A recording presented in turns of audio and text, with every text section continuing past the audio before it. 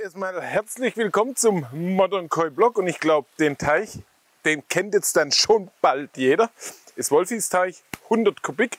Er legt da Wert drauf. Ich habe gerade gesagt, 90 Kubik heißt es, sagt er, ne, ne, ne, ne, ne, ne, ne, ne, ne, ne, ne. nach dem Filterumbau hat es 100 Kubik. So, über was sprechen wir? Über die Fische, wie sie gewaltig wachsen, wie das Jahr für ihn vollkommen problemfrei ist. Er hat einen Fisch von uns zugesetzt und überhaupt null Probleme. Zwei Kilogramm Fütterung am Tag. Vor eineinhalb Jahren ist sein Filter nochmal umgebaut worden. Da hat er danach, direkt nach dem Umbau, letztes Jahr im Frühjahr, vor drei, vor drei Jahren ist er umgebaut worden, aber direkt danach gab es dann im Frühjahr so ein ganz, ganz, ganz klein wenig Probleme, also so diffuse Erscheinungen, die es immer mal geben kann, wenn sowas, so ein größerer Stressmoment über längere Zeit anhält.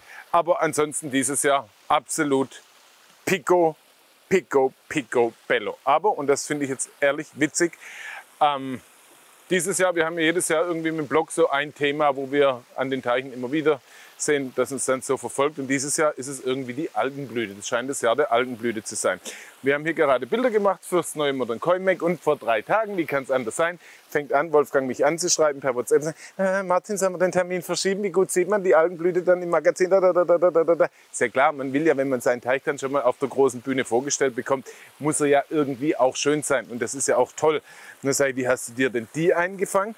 Dann hat er mir gerade erzählt, ja, er war im Urlaub und um die Temperatur unten zu halten, hat der Vermieter oder sein Mieter, nicht Vermieter, sein Mieter, der hier wohnt, hat jeden Tag große Wasserwechsel gemacht. Das war genau in der Hitzeperiode. Und bei ihm ist es immer so, wenn er große Wasserwechsel macht, dann kocht die Algenblüte hoch. Und das trotz UV-Lampe. Er sagt jetzt aber im Moment, die UV-Lampe steht auch kurz vorm Wechsel, aber er kann die Algenblüte dadurch provozieren, indem er viele große Wasserwechsel macht, viel Frischwasser das ist eben genau das. Wir müssen das Frischwasser, und ich glaube ihm das auch, und das ist das, was ich ja häufig sage, wir verschieben unser Milieu irgendwo hin. Die Algenblüte hat vielleicht im Wasser, bevor viel Wasserwechsel gemacht wird, irgendeinen Stoff im Wasser, was für sie auch hemmend aufs, aufs Wachstum wirkt, so wie es düngend Stoffe gibt, gibt es natürlich auch hemmende Stoffe. Und irgendwas passiert dann, viel Wasserwechsel und die wächst nicht mehr. Äh, die viel Wasserwechsel und sie wächst, wenig Wasserwechsel und sie wächst nicht mehr. Man weiß ja auch zum Beispiel, Algen kann man mit Phosphat überdüngen. Ich glaube bei 15 oder 20 Milligramm. Da gab es früher sogar einen richtig fiesen Algenvernichter, der nach dem System gearbeitet hat. Ist einfach überdüngt worden und die Alge ist dadurch gestorben. Punkt aus, basta.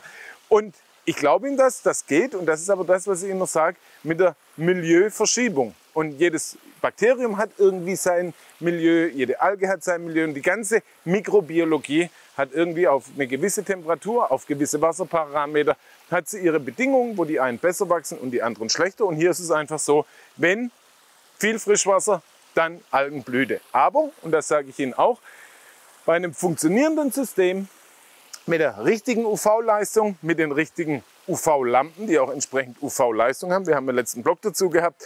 Mit der richtigen Anströmung, mit der richtigen Menge an Wasser, wo ich pro Zeiteinheit über die Anlage drüber hau, dann dürfte das eben nicht passieren. Weil da habe ich natürlich dann ein chemisch-physikalisches Verfahren, die UV-Desinfektion, die eigentlich dafür sorgt, dass die UV-Lampe, äh, UV-Lampe permanent so viel Algenblüte abtötet, dass es sich eigentlich gar nicht mehr bilden kann. Hier ist es jetzt so, wahrscheinlich geht's weg, wenn Wolfgang ähm, seinen Brenner jetzt wieder austauscht. Aber soweit ich weiß, du hast auch keine Brenner im Reaktor drin, sondern auch so Tauchzeugs. Also er hat auch so Tauchzeugs und da kann ich Ihnen sagen, wir sind kurz davor.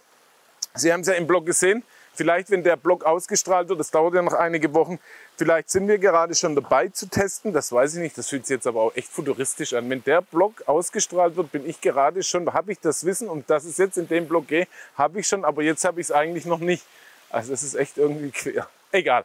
Wir werden Sie dann daran teilhaben lassen. Das läuft mit freundlicher Unterstützung von Genesis, die uns da die Reaktoren, die Montage, die Lampen alles zur Verfügung gestellt hat, so dass wir dann arbeiten können und natürlich auch Taurus-Diagnostik, wo wir die ganzen ähm, Keimzahlbestimmungen machen können, um Ihnen nachher auch nachher tatsächlich sagen zu können, wenn Sie die und die Strahlerleistung haben, haben Sie die und die Desinfektionsleistung auf Spanisch. So, jetzt schauen wir uns aber noch ein bisschen ähm, Wolfgang seine Fische an. Sein ganzer Stolz. Ich musste gerade auch das Blocken noch mal fünf Minuten hinten anstellen, weil das Kimmer erst die Wasseroberfläche hat wieder sauber machen müssen. Aber ich sage Ihnen, auch so ein Teich, der wirklich der ganze Tag performt und wo zwei Kilo Futter reinfliegen, da ist es einfach mal so, dass da ein bisschen Schmutz drin ist. Hier ein traumhafter Kinmatsuba.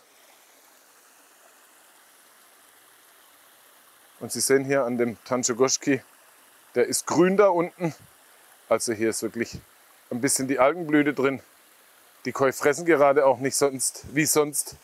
Ist aber auch normal, wenn der, der Hampelmann mit dem Mikrofon um den Teich rumrennt. Das mögen die gar nicht. Ist ungewohnt. Aber ist einfach toll, hier einfach mal jedes Jahr wieder zum Bloggen vorbeizukommen. Ich habe ja die paar Teiche, wo ich jedes Jahr bin. Und dann sieht man auch mal, wie sich die Teiche über die Jahre entwickeln. Hier die Koi. Überwiegend entwickeln sie sich spitzenmäßig. Dieses Jahr ist im Frühjahr ein Koi gestorben. Eine ganz, ganz verrückte Geschichte. Wolfgang hat mir ein Bild geschickt von einem Koi, der plötzlich eine komplett rote, blutunterlaufene Schwanzflosse hatte, einen blutunterlaufenen Schwanzstiel. Und ich kenne das. Ich, das. ich habe das ein, zweimal gesehen, wenn wir Fische transportiert haben. Der eine war 50, der andere war 65 Zentimeter. Und wenn die im Karton richtig, richtig toben, dann kann es sein, dass die sich wirklich eine der Hauptschlagadern verletzen, dass es dann zu Einblutungen kommt. Und das ist, was auch Sandra nachher gesagt hat, dass es eine Thrombose, dass eine Thrombose war in dem Fall, dass es zu einem Blutstau kam. Gucken Sie, ist das nicht romantisch? Dass es zum Blutstau kam und im Prinzip Blut eingeflossen ist, aber nicht mehr rausgeflossen ist. Das sah richtig, richtig übel aus. Und der Goschki hat es dann auch leider nicht überlebt. Aber man sieht, es gibt eigentlich alles, was es bei uns Menschen gibt, gibt es auch bei den Koi. Hier eine Melone, die ist erst vor zwei Stunden reingeflogen. Die wird noch sauber ausgeschlappert heute. Wolfgang füttert viel Melone. Also im Sommer kann es auch mal sein, dass an einem Wochenende eine ganze reinfliegt. Und ich muss sagen, dass der Längenzuwachs, Entwicklung der Koi wirklich schön hier. Der Karashigoi kam vor eineinhalb Jahren, zwei Jahren. Also hier passiert was mit dem Futter, was reinkommt hier. Der Ginring Kohako, letztes Jahr Jumbo Tosai. Toller Ginrin Shoba, sein alter Chagoi. Also, Wolfgang hat nach wie vor Spaß. Nächstes Jahr dann noch mehr. Da geht er in Altersteilzeit. Und dann kann er sich voll und ganz seinem Hobby widmen. Da hinten noch sein ganzer Stolz. Goschki, der jetzt richtig Volumen aufgebaut hat. Traumqualität damals Jahrgangsbester. Und so langsam beginnt er hier Volumen zu kriegen. Machen Sie es gut, vielen Dank für Ihr Interesse. Schauen Sie mal wieder rein und bis die Tage. Ciao.